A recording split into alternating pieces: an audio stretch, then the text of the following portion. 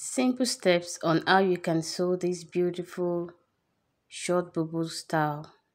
Don't forget to like share and subscribe to my channel and turn on the notification bell to get notified when i post a new video.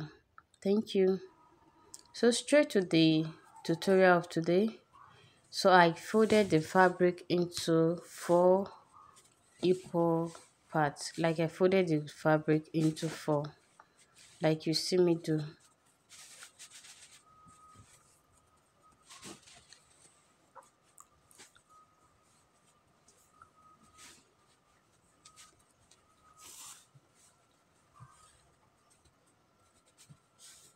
So I was making making sure that the four end of the I was making sure the fabric is equal at the at both end so the first thing I did was to measure the gown length. So after taking the gown measurement, I on the fabric, I added 2 inches sewing allowance to the length of the fabric. That 2 inches will be what I will fold the the dress inward by 4 by 2 inches if you understand like I will aim it at the down end by 2 inches. I'll fold 2 inches inside. Do you understand?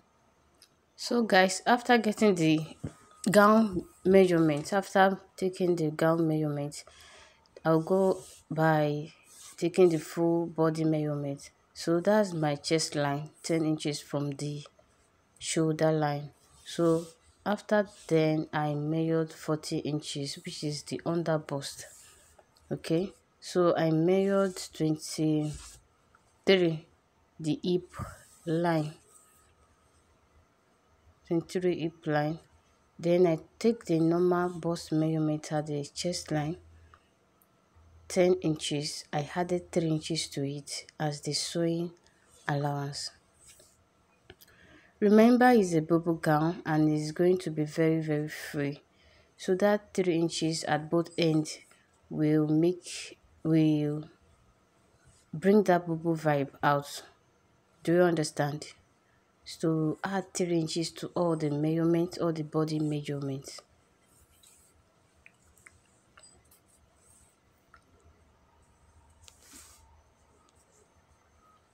So I went ahead now to take my shoulder measurement 8 inches the full back measurement is 16 so when I divide 16 by 2 I get um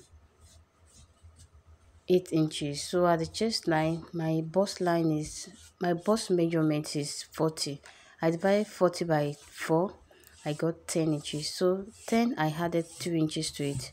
At the hip line the hip line the hip measurement is 40 44 is it 44 yes 44 so I measured 11 then I added 3 inches to it. So this is the shape. I don't want the the under bust shape to be too sharp.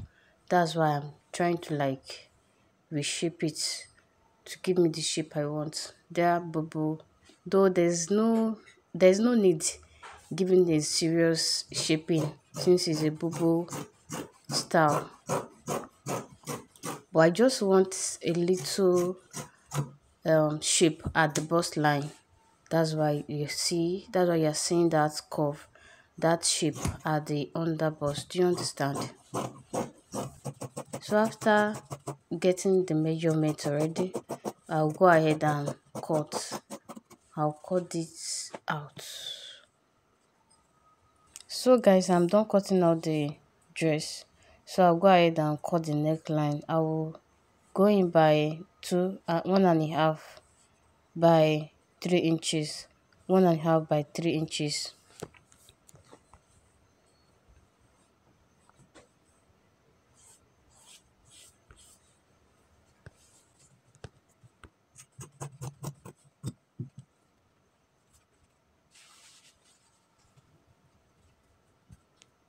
I told initially that I was cutting the two together so now I've removed the back.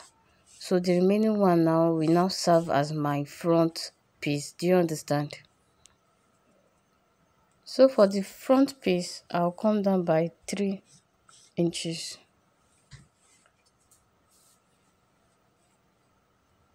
That's three by three inches.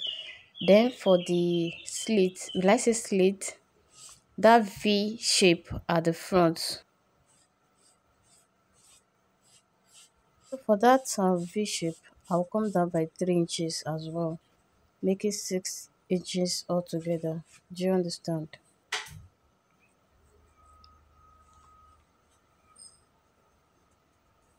So at the end before the 3 inches I'll come in by half inch to make that curve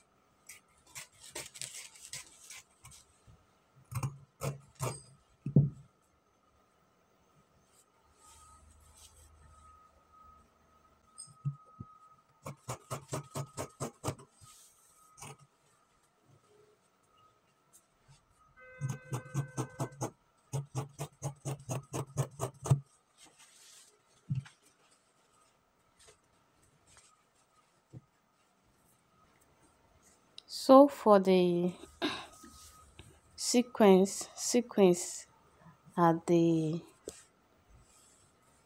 front, I folded, I look for a lining I'm not going to use again for that moment. I folded the lining into four.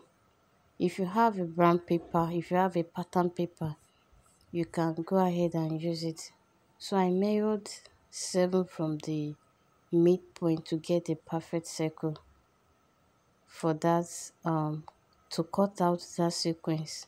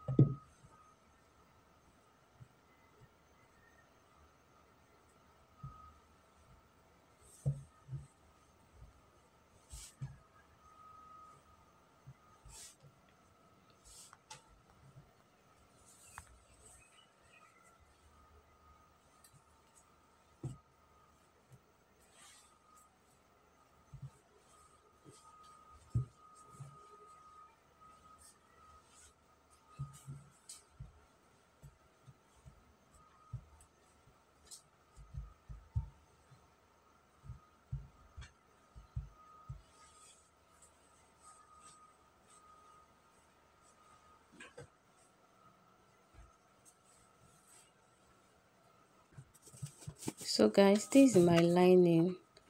I want to line the um, dress with this lining. So I'm going to cut out the lining for both the back and the front piece. So if you want to, if you be using lining, you can cut out the lining. If you're not using lining, you can just use a facing for the neck neck part alone. Do you understand?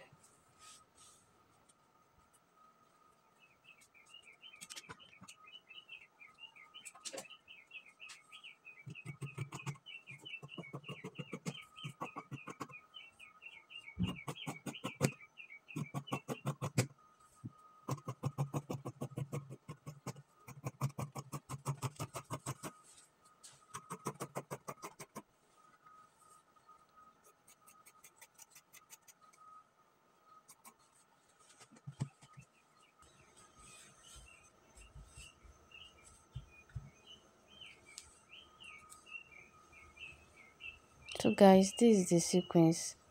So the bust point was the point i i started i the play the point i placed the sequence design. So from the shoulder line i measured down nine and a half nine and a half nine and a half. So I'll go ahead now and place the this sequence at the front piece before joining the lining before sewing the lining with it. So this is the sequence um material.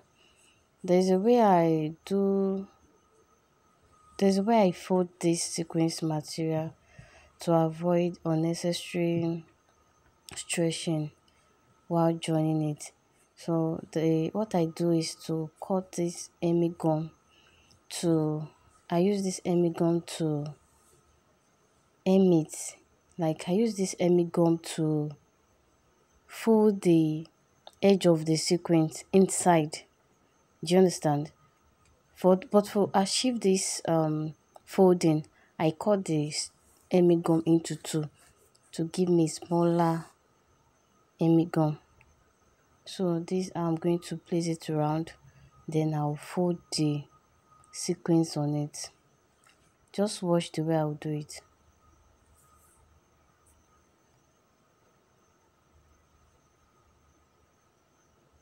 So I'll place this Emi gum round. Then I fold. Then I'll fold the sequence on it to give me a neat edge. You see after folding like that I'll place my iron on it. At the time of doing this at the time of filming this video there was no electricity supply in my area so I used gas iron. I used gas iron so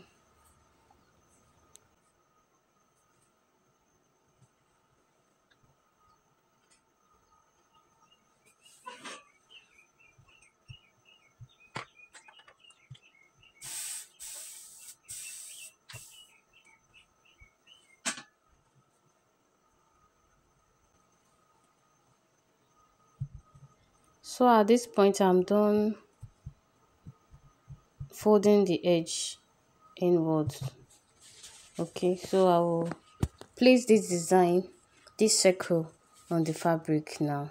Then I will use that same Emi gum to gum this um circle design on the fabric before sewing to avoid unnecessary stretching while sewing it. Do you understand